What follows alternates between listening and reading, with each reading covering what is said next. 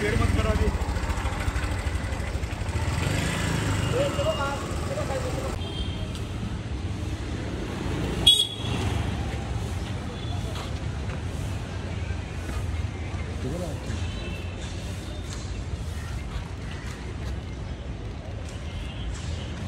गाड़ी उधर